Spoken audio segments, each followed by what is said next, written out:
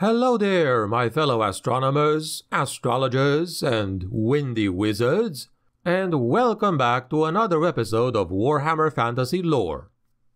Previously, we talked about the Celestial Order and what they do, what their members are like, and, surprisingly, a lot of detail on their actual college. Today we will indulge in some more magic lore by exploring the apprentices and several well-known magisters of this particular order. I am your host, the Grimdark Narrator, and without further ado, let us proceed, shall we? There is a rigorous program of examination for advancement within the Celestial College, beginning with an entrance examination to establish the academic capabilities of a new apprentice. Very few applicants with any aetheric talent are turned away, no matter how good or bad they do on the exam. The exam is really just for the magisters of the college to ascertain what level to start their apprentice's education at. The few that are turned away could be sent to the Order of Light with a letter of introduction, because their hierophants are always looking to take on new apprentices. An apprentice will be assigned to a master, whom they are expected to obey absolutely.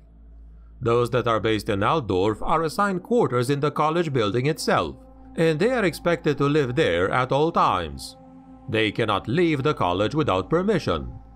As well as their studies, apprentices are expected to aid their masters in their observations, which gives them plenty of chances to learn how to adjust the great telescopes in the domes, all the apprentices are expected to be neat, hardworking, and punctual. The tower domes are cleaned of bird droppings and other debris every evening by the college's apprentices. This unpleasant duty is handed out as a punishment to apprentices who are disrespectful, who perform poorly, or dress inappropriately. The regular need for cleaning ensures that someone is always nominated for the job. The masters of the college maintain that these duties instill an apprentice with a sense of humility.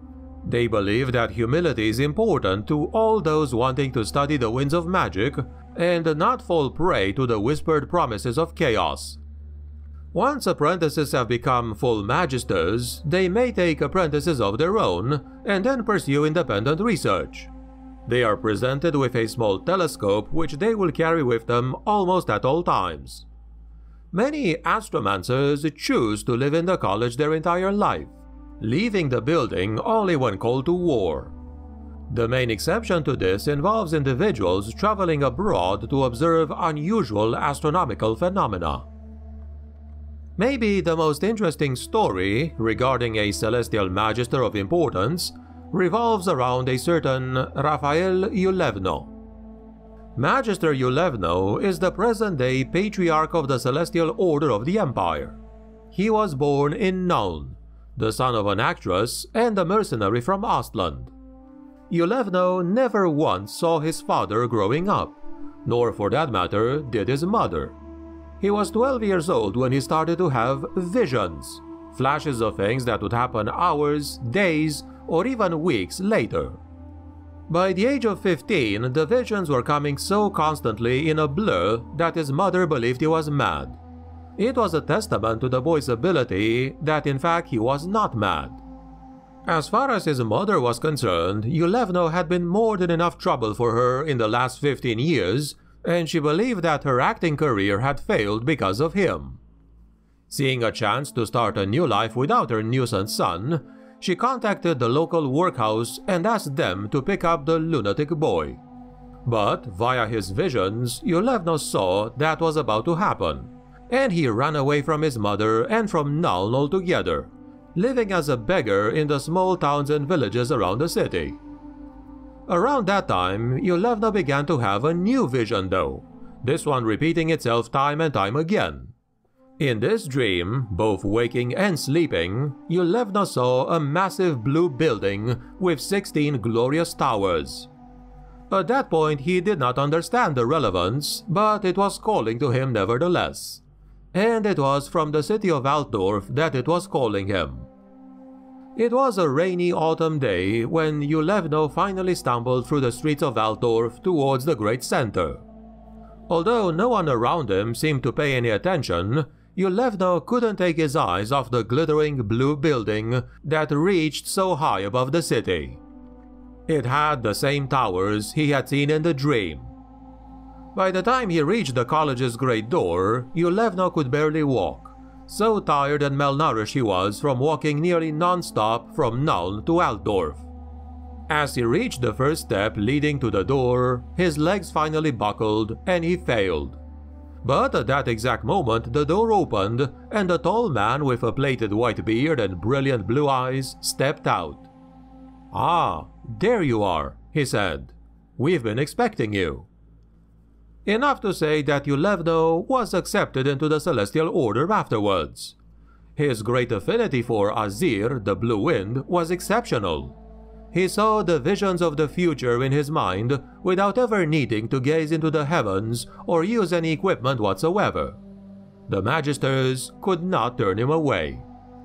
Yulevno was a very quick study, and he rose to the position of Magister in a quick 13 years, which was a very short time in the Order. And at 29, he was the youngest fully accepted astromancer in living memory. He would be 50 when he first caught a glance of Archaon and the Chaos invasion that he would lead against the Empire. And only a year afterwards he saw a vision of the death of the then Patriarch of the Order, an astromancer called Stern Glanzend. When he took his worry to the Patriarch, he found that the ancient astromancer already knew. The man had seen his death many times earlier, and he was ready to face it. Before he left for Middenheim, Glanzend told Yulevno that he was to be the new patriarch. All the magisters of the order had foreseen it. Although he had never spoken about it, Yulevno had seen that as well, and could not refuse. Since that day, he wondered many times about how the patriarchs of the order were chosen. The Lord Magisters foresee who among their number will be, and then simply formalize it by electing that person. But if they had not seen him, Yulevno sometimes muses, would they have still elected him? Or, conversely, maybe they only elected him because they had seen him. And all of that made for a very interesting paradox. Was it a self-fulfilling prophecy? Which came first, the vision that decides the patriarch, or the would-be patriarch's own destiny that informs the vision? Was it fate or some other agency that decided who would become the patriarch of the Astromancers each and every time? Another known magister is Bartholomew Kereveld. Despite having a weak constitution for travel, Bartholomew Kereveld was brought on an expedition to Lustria, aiding the mercenary flotilla by navigation and even the slaying of the occasional sea monster with meteor showers although he claimed that anyone of the Celestial Order could do that. Along with a great mass of equipment, the Celestial Wizard brought with him a manservant called Theobald. The main reason for joining this expedition could be traced to an old logbook. The sole survivor of an earlier expedition had sold it to a merchant in Swamptown, who then sold it to a captain, who in turn sold it to the Celestial Order. This book contained a map tracing the path by which the original expedition had went, making it a genuine find, or at least according to Kerenwald. It did not, however, detail what had happened to the men that had gone before. Dieter Klemperer is another master celestial wizard. He is famous for never being visibly surprised. Often, this is because of his magical insight, he is already expecting what would happen. But sometimes it's simply because he's very good at hiding his own reactions.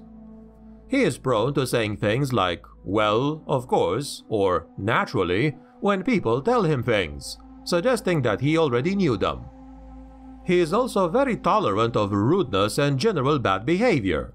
He wants adventurers to know that their behavior is inappropriate but as they are mere adventurers, he doesn't feel that they can be held to the same civilized standards.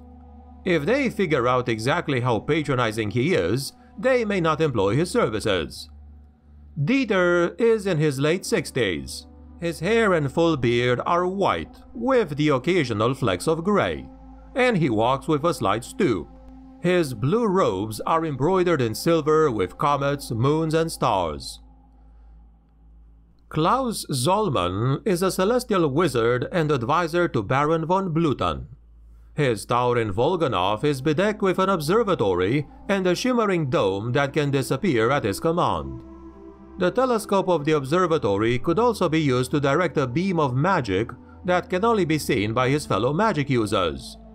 Indeed, it reveals a mesmerizing glimpse of the winds of magic made visible, which is heady stuff to confuse any individual. So much so that any enemy wizard picked off by it becomes unable to move, shoot, or cast any spells. And this, my friends, has been what I wanted to tell you about the apprentices and some of the more well-known Celestial Magisters for today. Of course, you are bound to find more Celestial Magisters in Warhammer Fantasy novels, as there are quite a lot of those. Are you a fan of the Celestial College slash Order? Are they among your favorite factions of Imperial Magic? What do you like or dislike most about them? Do share any thoughts or questions on the matter, if you have any, in the comments below as usual. If you found the episode entertaining or informative, please click the like, share, and subscribe buttons for future content. Thanks a lot for watching to the end, and have an awesome and healthy day. May the blessings of Sigmar be upon you.